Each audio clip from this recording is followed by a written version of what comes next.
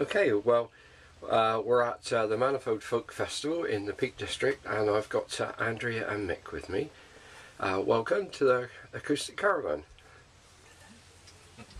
Um, this song was written by um, our friend Ray Bradshaw from, from Loughborough, and it's um, basically about an old lady who's a widow from the First World War.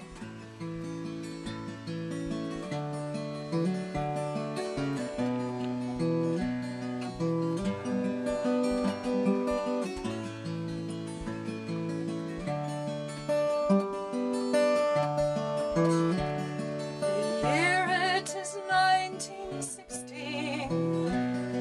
Two years bride you had been. Then the telegram came to ring in the change and